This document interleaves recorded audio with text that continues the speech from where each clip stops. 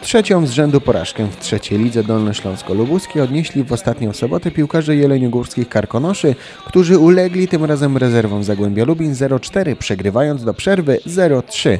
Gole dla gości padały po ciekawych zespołowych akcjach, a bramki Damiana Kowalczyka w 25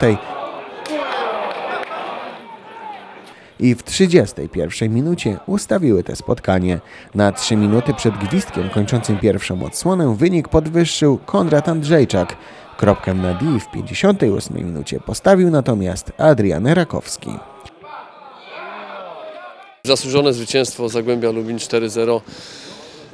No myślę, że poprzeczkę nam bardzo wysoko postawili w tym meczu. Chyba zabojaźliwie tę pierwszą połowę zagraliśmy, bo no mieliśmy, coś rozmawialiśmy, że spróbujemy twardo zdecydowanie, że to jest młody zespół, i, ale nie było widać tej twardości.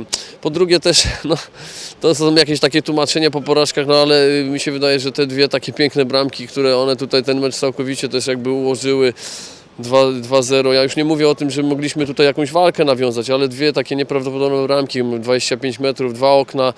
Goście z Lubina póki co w ligowej tabeli zajmują czwarte miejsce, jednak zamiast bić się o awans do drugiej ligi, podopieczni Pawła Karmelity w każdym meczu chcą pokazać się z jak najlepszej strony, by w przyszłości móc spróbować swoich sił w zawodowej piłce.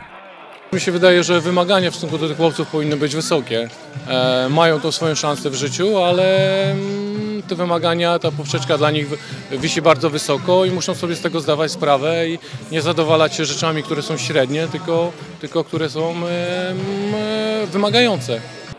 A kolejny mecz Jeleniogórzanie rozegrają już w środę o godzinie 17 przy ulicy Złotniczej, kiedy to zmierzą się na własnym stadionie z włókniarzem Mirsk w ramach finału Pucharu Polski Szczebla Jeleniogórskiego.